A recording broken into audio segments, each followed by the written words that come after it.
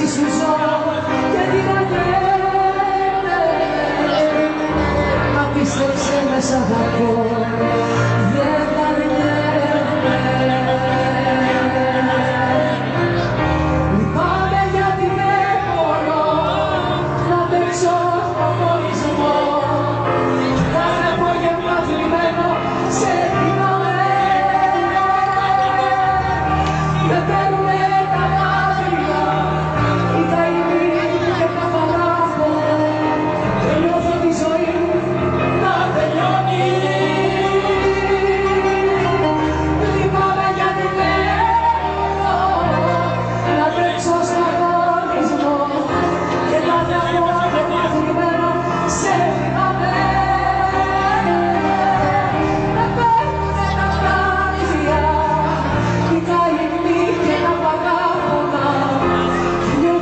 You.